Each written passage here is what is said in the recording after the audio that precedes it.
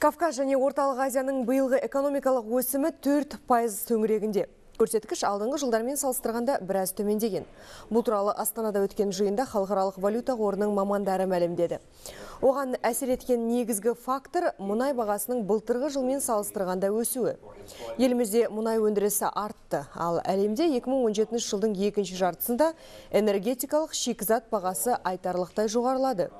Ал жеке Қазақстанда алатын болсақ, биыл темір және ауыл шаруашылығы өнімнен жақсы пайда түсіпті. Сарапшылар таңдауына қарағанда өсім алдағы жылы да осы деңгейде сақталады.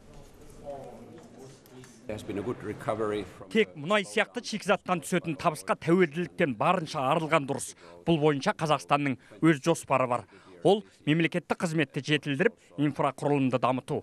Осы істер арқылы экономиканы әрі тараптандырып, көрсеткіштер біртіндеп жақсарады.